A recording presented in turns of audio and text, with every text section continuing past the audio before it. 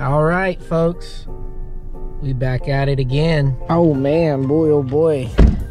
It's 8 o'clock and the humidity is already so bad. There she is. Well, guys, it is like 90 degrees at 8 o'clock in the morning already. One thing about being in self-quarantine, I had AC and that was awesome. Anyways, without further ado, let's go ahead and talk. For those of you that are just tuning in, I did have to go in self-quarantine because I was exposed to someone that tested positive of COVID-19. Needless to say, all that is over. We are back with the Ford Falcon build. I'm so stoked. There's really not much to do here. So we have new disc brakes all the way around. We have a new master cylinder for those disc brakes, proportioning valve down there. With that master cylinder and the proportioning valve kind of being relocated, the hard brake lines on the vehicle, they don't reach. So, which is understandable. There's some modifications that need to be done. So I may be doing it the wrong way, um, and some of you might cringe at it, but I really don't care because it's cost effective and, well, it's all the same. It makes it work and it makes it to where we can actually enjoy this Ford and maybe just drive it around the block a little bit and start bedding the brakes and whatnot. But anyways, what I'm planning to do, I have a short line, short brake line, and then I have a union. I don't know if this is actually, you know, what you call it, but I call it a union. So that way we can go ahead and fit this on one side. This side will go ahead and plug into the master cylinder or that proportioning valve. And then the other side will go on the original brake line. The purpose of that is to not get carried away with a brand new brake line that goes all the way from the master cylinder to the brake hose on the wheel. Probably not the best way to do it, I get it. But right now, I'm so eager to drive it, I really don't care. Later on, when we start cleaning up the engine bay and stuff like that, yeah, we'll probably just end up doing all new everything, obviously. That's what a restoration is, really. Let's go ahead and dive right into it. Oh, oh, and another thing.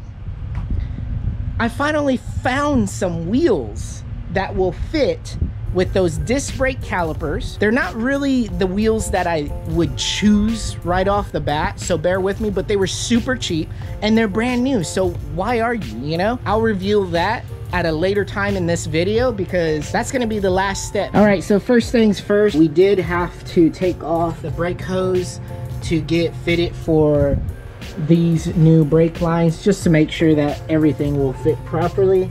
Also, when we were doing the brake conversion, I realized I didn't have to do this, but this like brace or tension bar, whatever you want to call it, I did take it off because we were having such trouble on this side alone with that drum. So now we have to put it back on. Here's the bolts for it and wish us luck.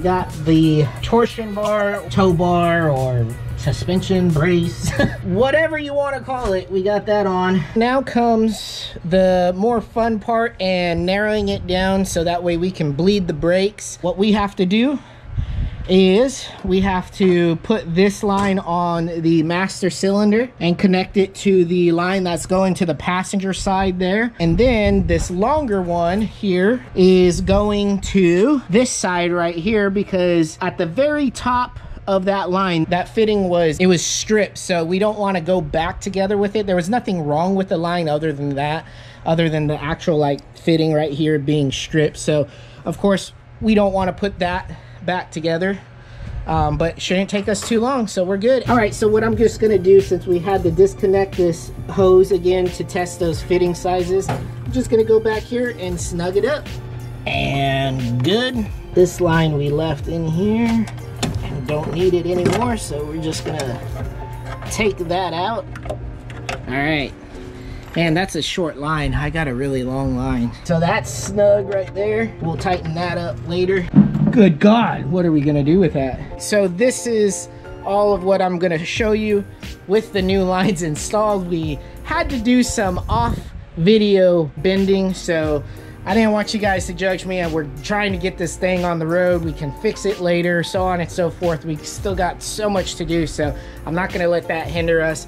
But needless to say, now we have to bleed the whole entire brake system And I mean, honestly, guys, after that, it's put on the wheels, the new wheels, and we're good to go. Let's, you know, take it out for a spin and hopefully, hopefully we did something good with the brake system to where it actually stops after everything is blended out and we don't have any issues. So keep your fingers crossed. Let's get to it. And here's the last little Allen screw in the lid there. The little boot. Oh, try not to. General rule of thumb is how you bleed brakes on a vehicle is you start from the furthest wheel from the master cylinder. In this case, it's the passenger side rear tire. Then you go to the driver side rear, the shotgun front side, or passenger front side, and then the driver's front. So, so far we have done the passenger rear.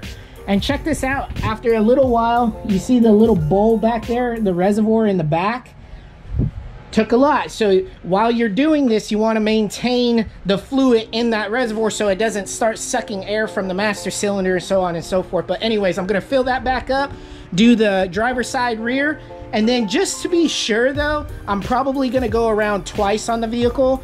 Um, but I do like the flow and everything. There's It's solid coming out of the passenger rear as of right now and I'm gonna get like that on the driver's side and on each other side but I just want to be double triple sure that we're not gonna have any brake issues anymore because quite frankly this has gone on long enough and I'm done with this so I want to drive it anyway so hopefully here in a little bit we'll go ahead and have the rear and then the front and just like that, we're at the front passenger side. So quick tip on here, you have all these bleeders. If you guys ever wanted to know, I'm just gonna tell you anyways.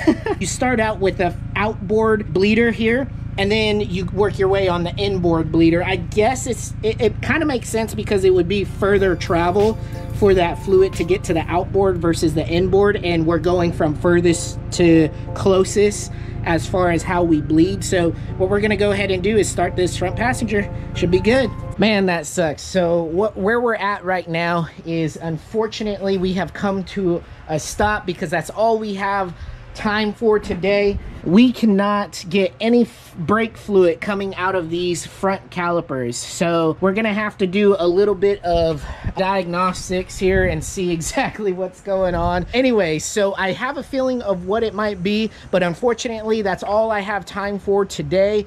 So I guess since we weren't able to get it actually rolling and the brakes done like I wanted to, um, before we end this video, I know you guys been waiting patiently for this, so I'm gonna go ahead and show you the wheels that we got so far. And there they are. Now, obviously, I'm missing a lot of lug nuts here, but this is just mocked up. They're like a rally type wheel. Now, I know some of you might not like that, and honestly, I don't know how I feel about these wheels just yet, but understand one thing. They were so incredibly cheap. They're brand new. Absolutely brand new, but they are so cheap with the tires, with the the wheels, everything brand new, all mounted, balanced, everything ready to go. It was less than four hundred dollars uh, all the way around. Four tires. I, I couldn't pass it up, honestly. So, um, and also we need just we need a a set of wheels. We need a set of wheels so we can hopefully get it out around the neighborhood kind of thing and um, you know enjoy it a little bit before we get going more on all these other repairs. But anyways, let me know what you guys think of the wheels. Um, I don't like the color. We might paint them some like black or something like that just to match the car a little better, but I don't know. I think they look pretty good. Without further ado, this effectively ends today's video. If you guys liked it, smash that like button. Don't forget to subscribe. Peace, guys.